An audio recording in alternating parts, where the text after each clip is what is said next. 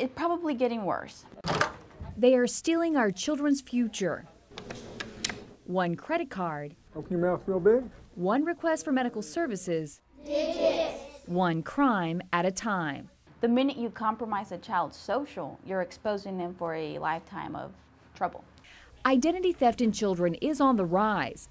According to a new report by AllClear ID, the percentage of victims under five has more than doubled over the last two years. It's profitable for them. Since children are given a social security number shortly after they are born, a thief can potentially use their identity for more than a decade before being discovered.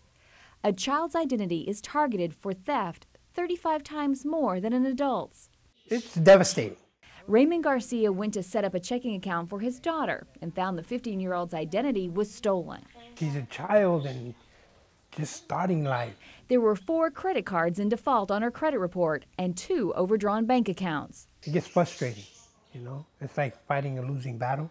Nicole's case is pretty typical. Her social security number fell into the wrong hands, and for years it was used to get access to thousands of dollars. I could imagine these kids that, that are going through this and don't even know it.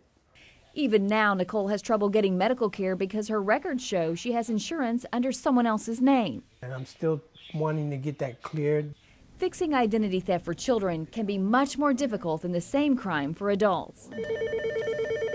So, organizations like the Identity Theft Resource Center help people work through the process, taking hundreds of calls a month. And it's not just the time or the monetary resources that you're going through, it's the emotional impact, um, your trust. You stop trusting those around you. And it's not just the child's credit that's being ruined, it's their reputation.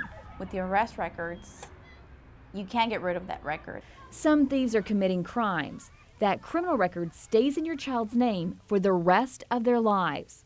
Here are some of the red flags to look out for being turned down when you try to get a savings account for your child, getting bills or credit card applications with your child's name on them, and getting notices for IRS earnings.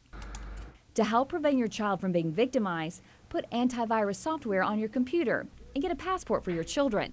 That links their names, their social security numbers, as well as their birth dates in a national database. And beware, friends and relatives are often the biggest perpetrators of the fraud. It's a good thing I took care of that, huh? Yeah. Nicole says she's learned a valuable lesson that most don't understand until they reach adulthood.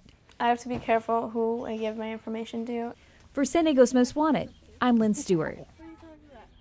football game.